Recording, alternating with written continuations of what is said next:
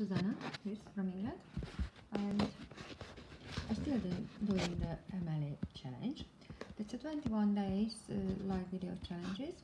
And uh, of that doing one recorded, pre-recorded video and one uh, live video, one on the Facebook on timeline and the one other is the another social media platform. That I'm used to that YouTube and I always forget mention it. You can subscribe in my video challenges a video channel because I try doing more video often there because hardly can put on my blogs videos what is it on Facebook? I don't know work or technical or something else? Who knows? What is it doing the MLA challenge? You know 30 minutes personal development reading listening audiobook or podcast or or how you educating yourself or training videos or anything doing your gratitude list what you thanks for actually what you thanks for. I'm very happy and thanks grateful now that because lovely sun the heat wave is gone still hot in England south coast of England and I still like it. Yes, go back to the video challenge. What's the challenge is that the consistency, the commitment and taking actions. Yes, this is challenge because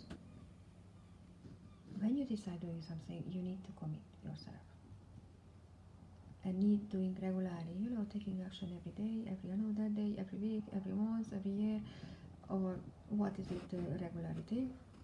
Everyday life is consistency meaning is every day doing the similar things until you reach your target. This morning i just heard uh, one podcast and uh, he said uh, positive outcome coming six to six months to one year or longer or one and a half years or two years or five years or ten years and lots of people just giving up before reach that yes doing something differently because you want to change your life is a need a willpower very strong willpower.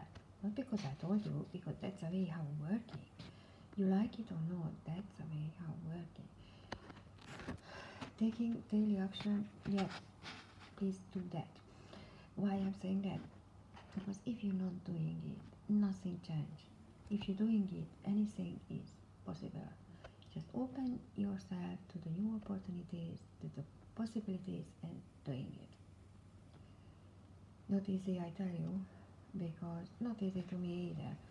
But i committed myself and i still doing it. And guess what? Sometimes i feel stuck but i have more power more energy because I know what I'm doing and that's push me forward. Yes. Step on the next level is not easy. Sometimes I just felt I can't go anywhere. I couldn't move forward, I couldn't move backward, but I still doing it